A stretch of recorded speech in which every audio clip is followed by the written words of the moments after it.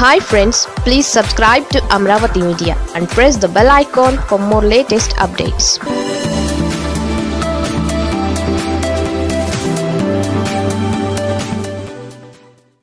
నిత్య అసంతృప్తివాది ఆయనింతే ఇక మారడు.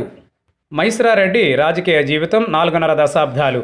ఆయన వైఎస్ఆర్తో పాటే రాజకీయాల్లోకి వచ్చారు. కాంగ్రెస్లో సీనియర్ నేతగా ఉంటూ కీలకమైన పదవులు చేపట్టారు. ఒక దశలో హోంమంత్రి వంటి పదవిని కూడా ఉమ్మడి ఏపీలో నిర్వహించారు. అటువంటి మైసరారెడ్డి తర్వాత కాలంలో తప్పుడు నిర్ణయాల కారణంగా బద్నాం అయిపోయారు. ఆయన వైఎస్ఆర్ మీద వ్యక్తిగత ద్వేషంతో రెండు వేల నాలుగు ఎన్నికలకు ముందు టీడీపీలో చేరిపోయారు.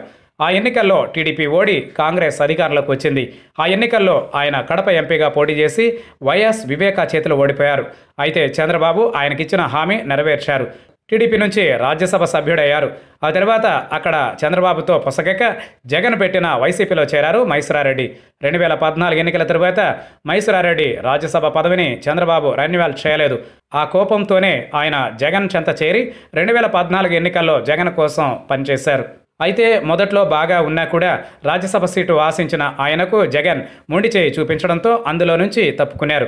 ఆ తర్వాత మైసూరారెడ్డి మళ్ళీ టీడీపీలోకి వెళతారని అంతా అనుకున్నారు. కానీ ఏ పార్టీ వైపు లేకుండా గ్రేటర్ రాయలసీమ పోరాట కమిటీ పేరిట ఒక సంస్థను ఏర్పాటు చేసి సమస్యల మీద పోరాడుతున్నారు. తాజాగా మళ్ళీ మైసూరారెడ్డి మీడియా ముందుకు వచ్చారు. రాయలసీమకు జగన్ అన్యాయం చేస్తున్నారు అంటూ ఆయన దుమ్మెత్తిపోశారు జగన్ విధానాల వల్ల సీమ అన్యాయం అయిపోతోంది అని హాట్ కామెంట్స్ చేశారు.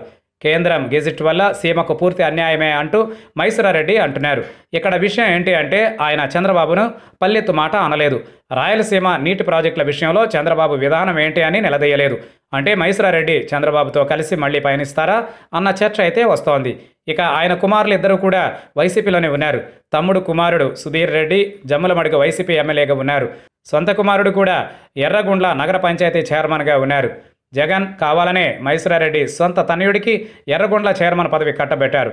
మరి తనయులు జగన్కి సపోర్టుగా ఉంటే మైసూరారెడ్డి మాత్రం ఇలా రివర్స్ కావడం విశేషం. ఆయన వింత రాజకీయం ఇదని అంటున్నారు. ఇక్కడ మాట ఉంది. మైసూరారెడ్డి అవుట్ డేటెడ్ పొలిటీషియన్ అని కూడా అని. ఆయన కుమారులే ఆయన మాట వినే పరిస్థితి లేదంటున్నారు. దాంతో ఆయన మీడియాలో ఎంత విమర్శలు చేసినా జగన్కి ఏమీ కాదు అని ఆ పార్టీ నేతలు సెటైర్లు వేస్తున్నారు.